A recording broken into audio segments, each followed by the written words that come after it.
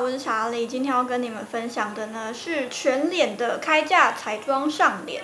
然后今天使用的开架呢，有一些是我已经很喜欢用的了，然后有一些呢是比较新的产品，所以今天也会一起试用给大家看。那首先呢，我现在脸就是洗完脸，然后擦了化妆水，做脸很痒，因为都是猫毛。好，那我现在呢就是上呃防晒之前，我会先上个保养，因为我脸是比较干的那一种。然后我上了这个保养呢，就是 Innisfree 的这个什么什么精华海洋什么精华的。然后你看，就是它又只剩下这样子，我用完这样子，就是我很喜欢它，是因为它虽然是精华，可是它就是那种保湿乳液的质地，擦起来非常的清爽，然后味道也很清香嘛，它就是一个很舒服的保湿乳液。然后因为我脸比较干的关系，所以上妆前我都会习惯用这个乳液，不然那个妆会不贴。然后乳液擦好以后呢，稍微等它吸收一下，就可以直接擦防晒。那我今天要擦的防晒呢，是这一个美白防晒霜，这个呢是小精灵的限定版。我承认我是因为它包装很可爱才会想要用它，它本来的包装我完全不会想要用，可是这个小精灵就是我童年的回忆，所以就觉得超可爱。然后我只记得我高中同学，我高中同学他都会用这个。然后我自己好像只有用过一次，就没有什么印象。可是我后来就因为包装很可爱，就继续拿它出来用。好，你看我的脸呢，全脸上了这一款美白的防晒霜。它的优点呢，就是它可以提亮你的肤色。就我刚刚的脸是比较蜡黄暗沉，可是擦上去以后就哇，整个脸是不是变得比较？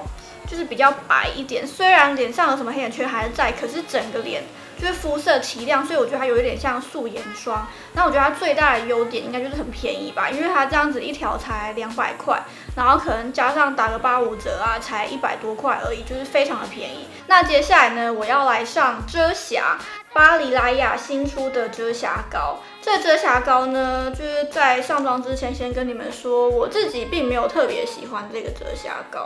为什么我说我并没有特别喜欢这个遮瑕膏？是因为就这个遮瑕膏啊，它是属于自然水润型的。就如果你是想要找一个比较保湿的遮瑕膏的话呢，是可以选它的。可是对我来说呢，它虽然保湿，可是它遮瑕力对我来说，觉得我觉得不够高。就它的遮瑕力，我觉得大概就七八成左右。所以我觉得，甚至已经有点太水润到，我觉得有点像粉底液了。所以我并没有特别的推荐它，只是它保湿和贴妆水润的效果是蛮不错的。只是你看，比如说我这个痘痘，就它痘疤呢，我觉得遮不太住，因为它真的是太水润，遮瑕力不够强。就我用其他的遮瑕膏，我痘痘是蛮可以遮住的，可是。这个就有点遮不太住我的痘疤。好，你看，可是我的黑眼圈，因为我黑眼圈并没有很重，所以我的黑眼圈呢，的确有被修饰到。而且通常眼周会比较干，然后它很保湿的关系，所以是擦眼周是不会有干纹的，这个是蛮 OK 的。其实就是遮瑕力不够高。那接下来呢，我的脸要开始上粉饼了，因为通常我夏天都会上粉饼，因为夏天就是很热，然后上粉底很容易脱妆或长痘痘什么的。然后我现在要擦的有两款粉饼，我一脸要擦这个 ZA 的粉饼，然后另一脸要擦这个 Fit Me 的粉饼来 PK 一下。然后我用的上妆工具呢，就是这一个，这个是那个资生堂国际柜的，它可以拿来刷那个粉类，也可以拿来刷粉底液。就蛮好用的。那我先来上这一边的脸，然后这个是 Z A，也是他们就是寄给我的那种新的限定的包装。哎，我真的因为这个包装而喜欢它，因为一般的一般的那个粉饼不是都这样嘛，就是长长的。可是我比较喜欢这样，就是比较节省空间啊。因为现在包包都超小，可能这个就可以装得下那个超小的包包，所以我因为这个包装还蛮喜欢它的。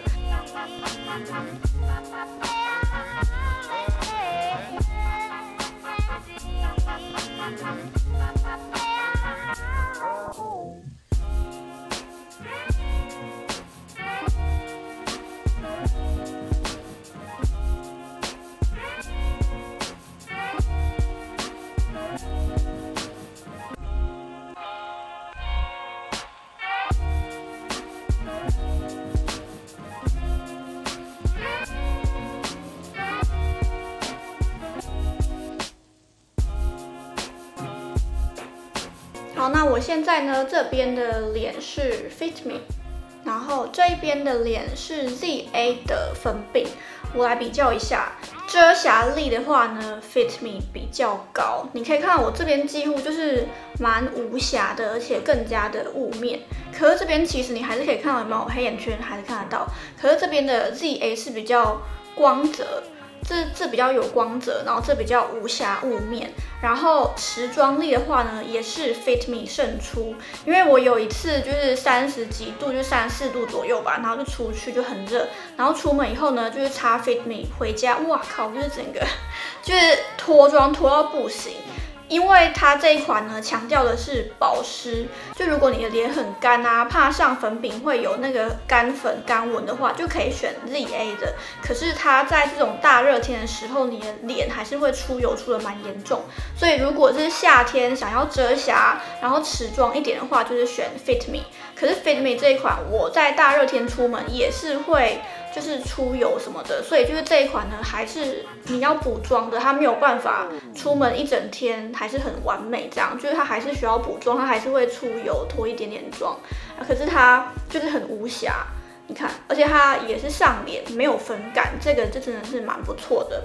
然后 ZA 就是比较保湿，然后比较自然，也是没有粉感的，粉不会很粗。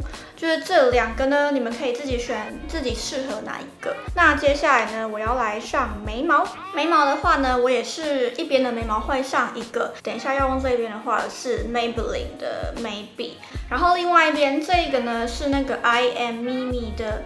那个他们家新出的眉笔，这个呢是我第一次使用，因为他们好像七月才会上市。然后这个是我昨天才收到，所以我今天忍不住很好奇的想要来用用看。它的特点呢，除了它是这种。平平扁扁的斜角刷以外，你看它是扁平的，它里面是有加眉蜡的，所以因为有眉蜡的关系，你画起来会觉得有点卡卡的。因为像一般的眉笔就是眉粉，所以就只是像在就又用铅笔啊蜡笔画，可是这个就是因为有蜡，所以会卡。然后有蜡也是有它的好处，就是如果你的眉毛比较多的人，就是画起来会很漂亮，因为眉蜡可以让你的。就是眉毛就是变得更加的，你知道毛流更漂亮、更立体。所以这一支呢，Maybelline 这一支我推荐给你本身眉毛已经很多，只是你想要就是让你的眉形看起来更漂亮啊，想要填补空隙的，这个就很推荐。可是如果你是眉毛很少的，我就不推荐，因为像我的眉尾是没有眉毛的，我的眉尾全部都要靠眉笔画，然后用这支画的时候就会，因为它是蜡。它蜡会有一点不均匀，你知道它没有办法像眉粉那么均匀，所以它就会有的地方特别黑，有的地方又不够黑。所以这一支呢，我只推荐给你的眉毛本身已经很多的人使用。那接下来呢，要来推荐我最近非常喜欢的这个。这个呢是一个日本的牌子 LB，然后这个眼线胶笔呢，他们家有很多颜色，然后我最推荐黑色的，因为我用了其他颜色，可是我觉得黑色最棒。然后它是这种可以转出来，然后又转回去的这一支眼线胶笔。为什么会这么推荐它？是因为它画起来非常的滑顺，它画起来很滑顺，而且笔芯很软。然后另外呢，它会不会晕呢？这一支呢，我觉得它也是很奇怪，因为我本身是属于不管用什么眼线胶笔都会晕的人。然后这一支它有时候会晕，有时候不晕。可是因为它的笔芯很滑顺的关系，所以我还是最爱用它。就是它晕的程度不会到很夸张，所以我还是可以接受的，我还是很爱的。就是我没有用过我不会晕的眼线胶笔，我不知道是我的。眼睛的问题还是技术的问题，就是怎么用都怎么晕。好的，你看画完以后是不是眼睛变得很有神？然后呢，我想要顺便画一下染眉膏。这一支呢，我也是因为尝鲜才用它的。我平常最爱的开价染眉膏是 Excel 的，可是也是有一点点不便宜。可是 Excel 的染眉膏很，真的没有什么缺点。然后这一支 Integrate 的染眉膏呢，就是尝鲜画画看结果如何。好，两个眉毛的颜色变得一样了，然后毛流感也蛮明显的，还不错。好，那现在要用的睫毛膏是 Integrate 的睫毛膏。这一支呢，真的是我觉得开价前两名好用的，超好用。你看它的刷子是这一种，就是它是梳子状的，比较特别呢，它是上面有梳子，下面也有梳子。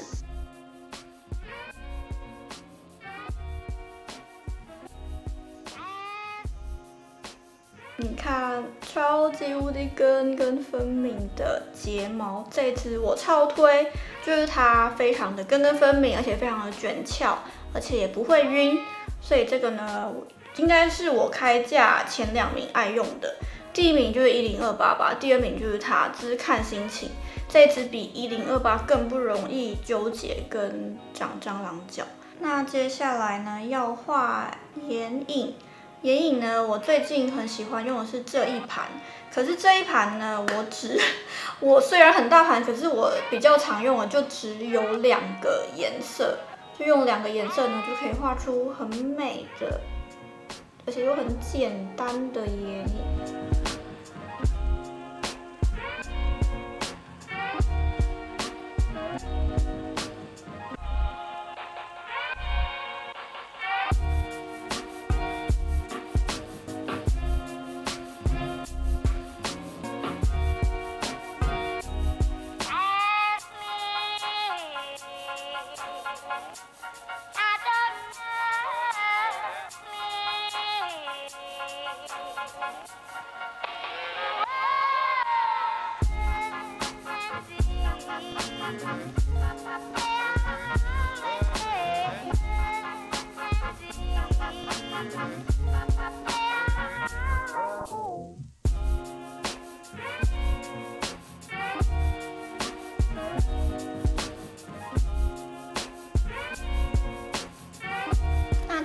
来呢，就是腮红 PW 四十一，这个可爱的蜜桃色，我觉得它有一点像是杏粉色的感觉。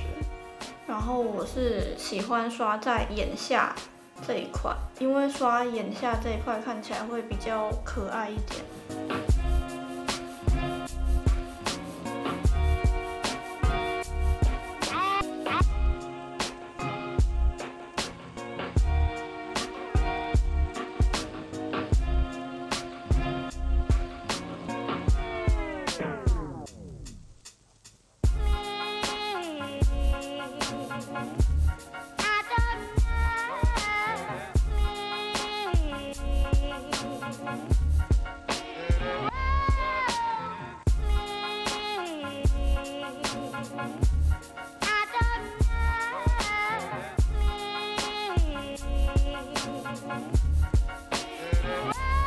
最后剩下唇膏的部分有两个，我真的非常的难以割舍，所以两个都会上给你们看。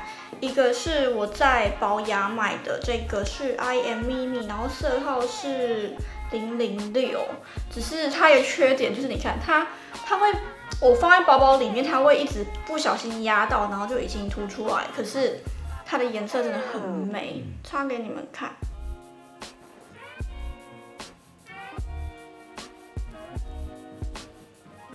好的，那这个就是 I am 咪咪是这样念，我不知道到底是念咪咪还是妹妹。I am 咪咪的零零六这个颜色，它的颜色真的很美，就是焦糖土橘色吗？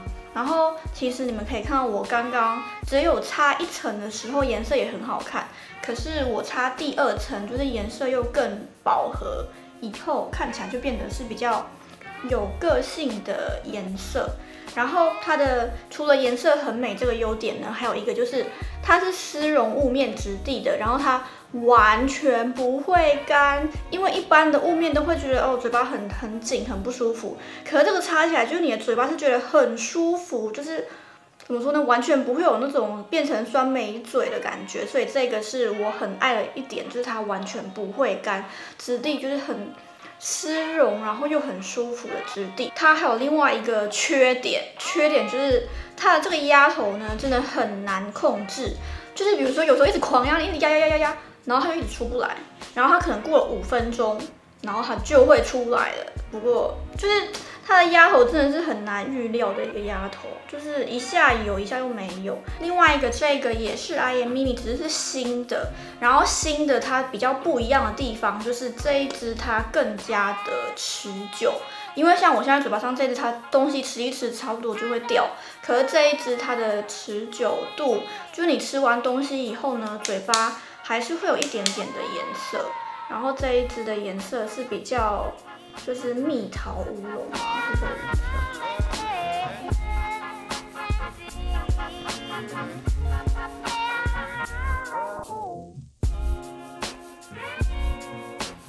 好的，那这就是这支零零六这个色号擦起来以后的样子。它没有像荧幕看起来，荧幕看起来就是很橘红，可它其实不是。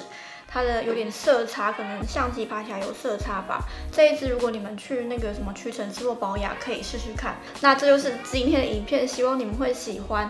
然后你们也可以留言跟我说下一支影片想要看什么，因为我现在目前心里有两个想要拍的，只是我不知道哪一个会比较多人想要看。一个是眼镜妆容，就是很简单的，可能你平常啊要出门要戴眼镜的那种妆容。然后另一个呢，就是我的爱用品的分享。嗯，你们可以留言跟我说，然后我会看哪一个比较多人想要看，我会可能会先拍这样子。